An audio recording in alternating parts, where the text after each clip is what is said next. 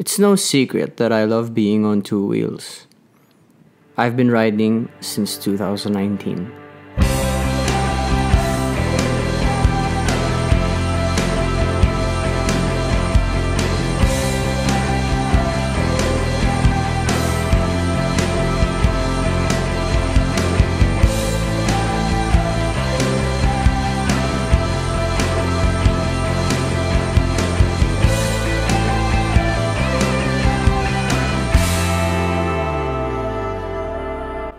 I ride for fun, therapy, and for my main commute.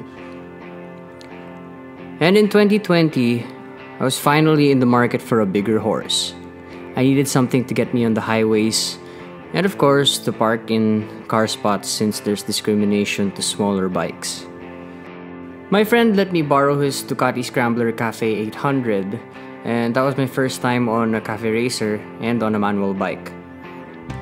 Then, shortly after, we went to Ducati to try out Scrambler 400 on the streets. It was fun, but I knew that it just wasn't it. I tried Paulo's Royal Enfield Himalayan, and nope, not for me.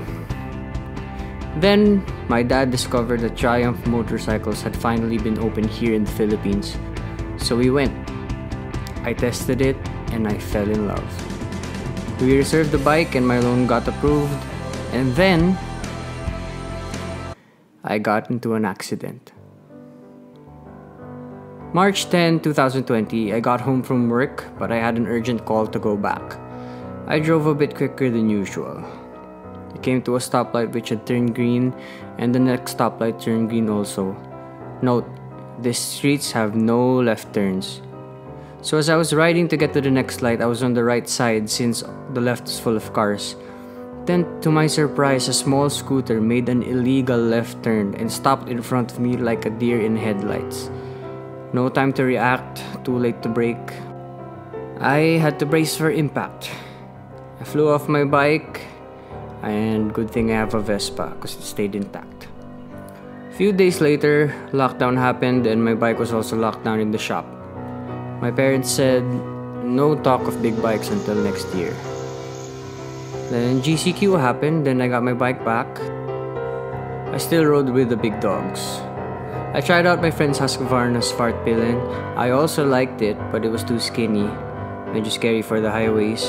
I tried Paulo's Honda Rebel 500, but it doesn't suit my riding style. And then one day, I was offered to review a Royal Enfield. I knew what bike I wanted to try, so I spent a week with the Interceptor 650. And just after the initial test drive, I knew